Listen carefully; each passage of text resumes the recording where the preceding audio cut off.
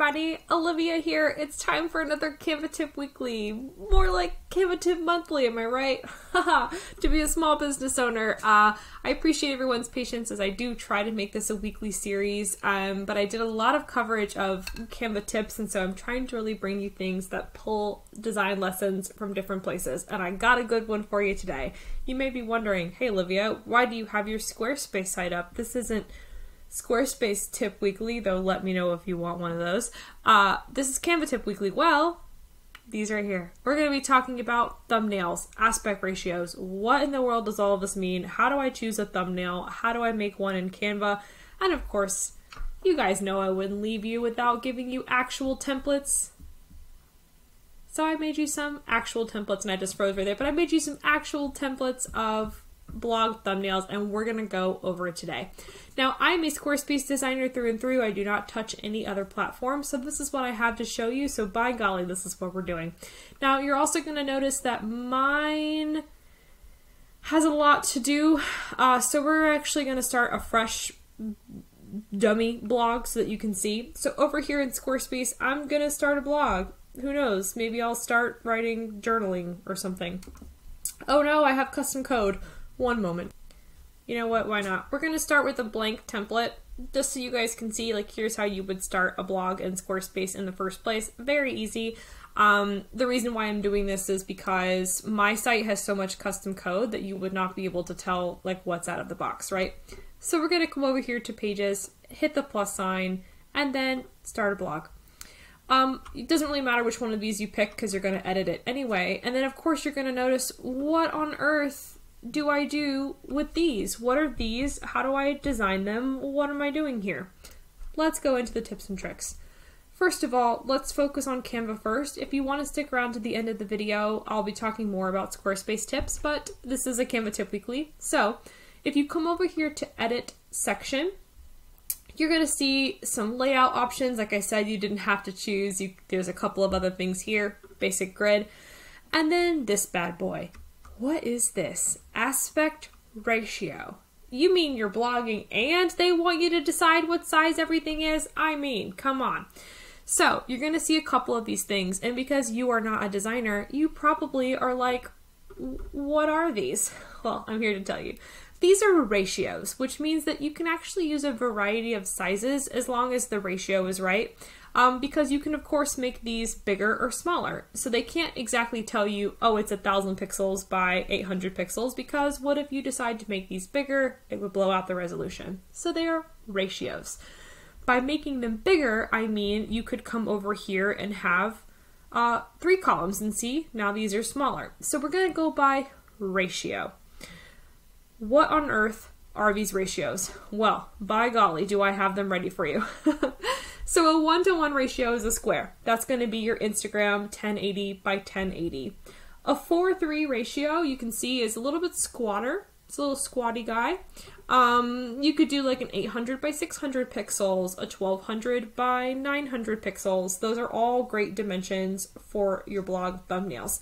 That is what I have chosen to provide to you today. I love a 4 3. I think it gives you a little bit more meat.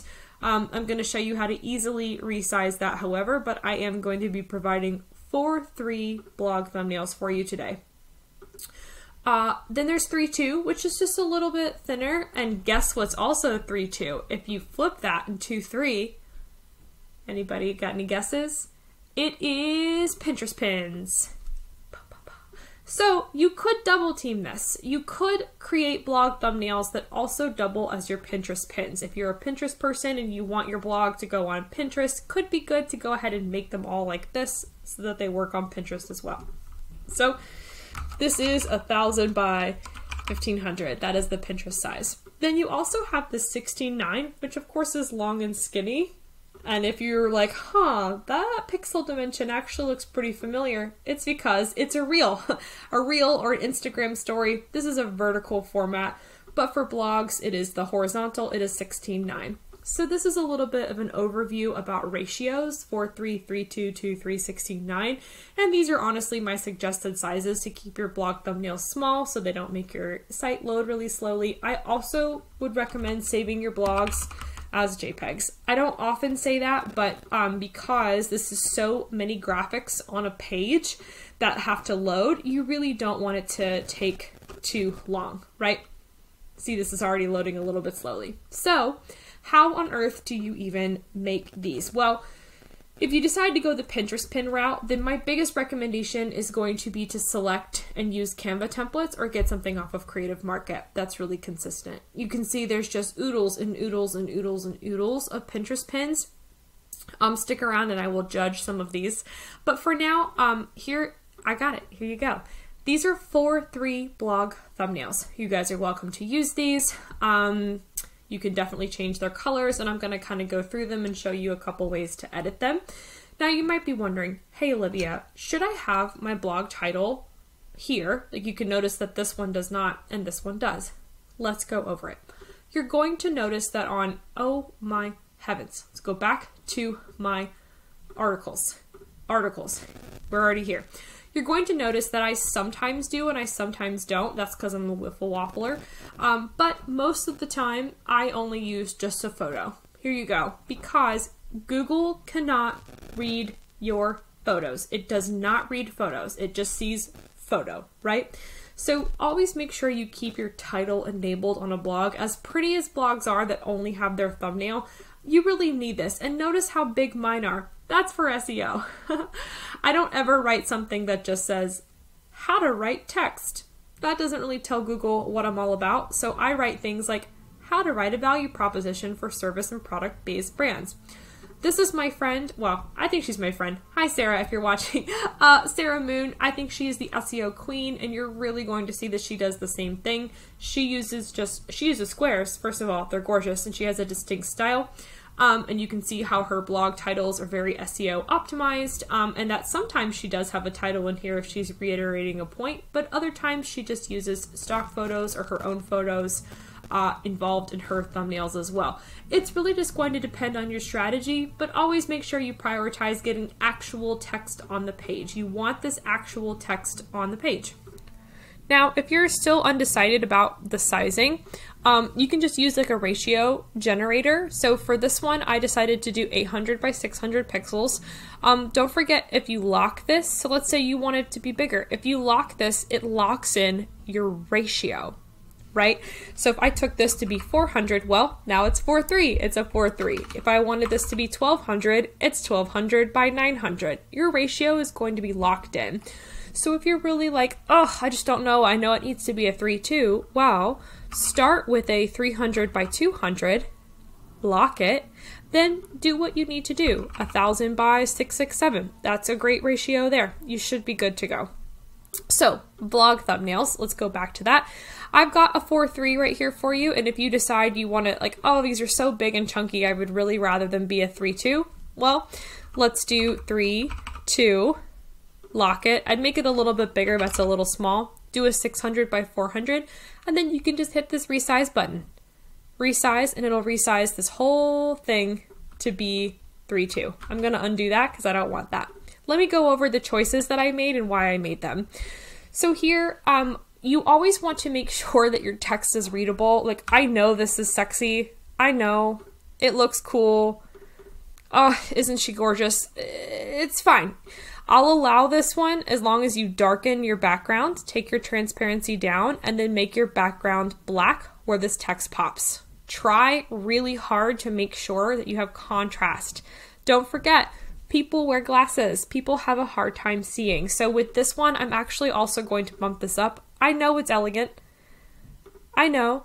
I know we love tiny text. We love how elegant it looks, but that's really isolating for people that have a hard time. We want to make our content accessible to everybody. So I made all this a little bit bigger. This is looking great. I honestly would even do a little bit bigger here. Fantastic. So just make sure that your photo here has uh, lower transparency so that we can really make the uh, black have a higher contrast here. Don't forget, you have access to, if you're on Canva Pro, they have stunning stock photography right? And you could always click the uh, little three dots right here and then see, oh my gosh, cottage core. Let's check it out. Stop. I mean, come on. Easy peasy. And then you could swap this out, replace background. See how that's hard to read? Take the transparency down. Sorry, take the transparency down. Easy to read. Gorge. I love that. Cottage core here for the win, right? um, now, don't forget your Canva license states that you cannot just grab these photos. These are not your photos to use. You do have to use them in a Canva design. So that's why here, if you just want to use Canva photos, just make sure you're putting like a color bar and maybe a tiny logo. Not a tiny logo, I misspoke. An icon logo, right? So I use, um, I have my icon logo. I don't know where that's at who knows where I put things right here. So I might take this little icon logo where my um, lightning bolt is really easy to see and place it right there. And this would make a great set of blog thumbnails, especially if you took the time to change the color of them. Next up, we love a layered. You could do category here. So mine would be like Canva tips. right? Um, or you could even put the blog title right there. Another great opportunity for a stock photo or one of your brand photos. If you want to keep it really spacious and clean, this is a great way to add that aesthetic space to your blog thumbnails while still getting an image across. You could have on the blog, category here, or just on the blog, let's go studio, and then never have to change the text. Um, this one, if you do a lot of Instagram graphics and maybe you want to write about one, go ahead and put that in. Don't forget to add your little photo right here, and then you could change the category, or you could say whatever your blog is. Maybe it's on the blog, maybe it's Canva Tip Weekly. Um, you could change that. And then changing the background every time would give you lots of different, lots of different uh, thumbnail options. You could always do a cute collage if it's more of a personal post. Uh, this one works really well if your photos tend to be more top heavy. So if it's photos of you, for example, like all of my photos of me are going to work better in this format because if it's in the center, it would cover my face. Uh, so great example is, oh gosh, there's so many. Which I do recommend, obviously. Um, so like something like this is going to be better, well, case in point, you're going to want to have this so that you can peek out over the title. So that's going to work for those of you who, with more headshots. Plain colors, again, you can never go wrong with like a large uh, right here. Now, um, you could also pull a quote. It doesn't have to be the blog title so that there's not two blog titles. You could also do like a pull quote. Um, and then this one again would look amazing as like different colors. Like imagine you just rotate these. Chef's kiss. Um, don't forget, you can also cut yourself out. That's what I do for my YouTube thumbnails. Um, so my YouTube thumbnails are me, which I need to change, but you know, who has the time? I either do a computer sticking out or just headshots of me. So these are all, these all work, uh, really beautifully. Um, and then last but not least, here's another larger box, which allows you to put, um, something in the background without sacrificing text contrast. That is really important. Amazing. So that is your Canva tip, uh, is to use Canva, use this template, have a lot of fun, go through retroactively. Um, now, if you're still following along, let me give you some other tips if this is just too much. If you are like, good heavens, I literally could not ever keep up with this, I got you. My first tip is going to be you always need to figure out what's your style. Like, what is your style? Are you cottage core? Are you bright and colorful? I am bright and colorful, which means that I have invested obviously in brand photo shoots. I've invested in what we call flat lays. So I have my own, you can see here, all of these are my brand. they are bright, they are colorful, they are fun. Um, but I also, when I need filler, I do have a stock photo style, which I'm right here, stock. I do have a style, which is, you guessed it, more bright and colorful. I did pay for these because somebody took the care to do really stellar ones, and that is Color Joy stock. So you might just come through here and say, yes, I really want my blog and my articles to be amazing. So you might invest. The, this is a monthly subscription. Look at how gorgeous these photos are. These are along me. So just for 40 bucks a month, you could start up your um, uh, you could do your blog for a couple of months and then be done. Um, you could also get packs of things. Uh, Creative Market has packs of stock photos as well. I just highly recommend it. You might also say, Olivia, I have zero buckaroos. I get it. I get it. Let's show you the zero buckaroo version. when you're in your blog post, you need to go over here to the three dots, the three dots, the three dots. Once you click on that, you click on settings, and here we are. This is where you actually replace that image. Now, if you're a Squarespace girly, like I am, uh, they have an integration with Unsplash. So this little button right here, search for images. If you click on free images, these are all us fam. No attribution, no anything at all. You go to town. Again, this is why it's so important to work with a brand designer or to work with somebody um, uh, or to just take an afternoon in, in soul search, right? So I know that my brand is bright, so I might do bright desk and see what happens. Um, cute yellow chair, some like bright flat lay type stuff. Um, I might try orange notebook, right? Orange is a brand color. I know. Oh, cute. Um, you might use a bunch of these. Look how perfect that is. It's a bunch of limes. Um, really getting conscious of your stock photos that you use, or maybe you're talking about finances in one. Ty- type in finances. Here you go. Here's a bunch of great free photos, right? Um, last but not least, let's see what they have for cottage core. Oh my goodness, these are gorgeous. Can I just live here? Now, if you aren't a Squarespace girly, don't forget you can just go to unsplash.com. However, these are too big. You also need an image resizer. You need to resize your giant Photos. For reference, Unsplash gives you photos that are so big you could print them and mount them and make them wallpaper. They're basically that large. You've got to resize these, they are way too big. You can come over here. This one, this is fine. Upload your photo. It needs to be smaller so that you cannot destroy the internet with your blog. So just make sure you've got that. Unsplash is a great resource. Pexels is another great resource if you want to try to get things that feel a little bit different from the status quo. And then Squarespace in particular will auto crop. So if I decide I love this horizontal cottage core here, but I'm telling Squarespace that I want 4-3, well, by golly, it's going to be cropped. Ta-da! It is cropped my last tip, um, at least for Squarespace, that I'll leave you with is that that does not then transcend into the Squarespace itself. I know I didn't do it. Don't yell at me. I I didn't do this. That's not me. Um, you have to actually add things into the blog post. So, in short, aspect ratios just taught you they're basically ratios that mean that you can do any sizes. This 2 3 is also a pinterest so if you just want to do that then you just got to have a bunch of pinterest pins basically and blog thumbnails. My recommendation is one of these and it's either to upload stock photos from an invested source like colorjoy stock um, or you can use this handy little set here and have a lot of fun putting in um, putting in uh, you're maybe choosing a style and running with it. And i recommend trying to do a quarter at a time or just running over here and making pages.